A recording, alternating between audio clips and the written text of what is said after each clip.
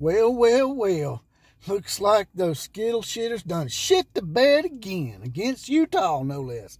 A team that that got beat by a six and six Florida team in the SEC, and yet y'all talking about y'all gonna beat Georgia, and yet y'all get blown out by Utah, and got beat by them twice, and y'all was up by fourteen.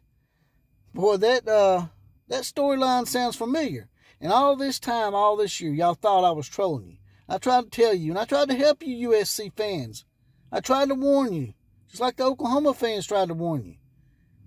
Lincoln Riley will shit the bed, and he will choke away big leads in big games because he has no modicum of any kind of defense and no Bakuth when it comes to big time games.